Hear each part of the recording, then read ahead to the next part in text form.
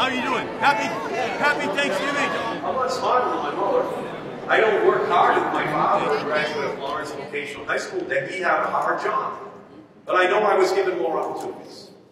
And that's the challenge that we have to continue to try to meet, to ensure that the immigrant families in our country get the opportunities which they deserve. We need to ensure that TPS is made permanent. We have to make sure that DACA is made permanent. We have to make sure that for all 11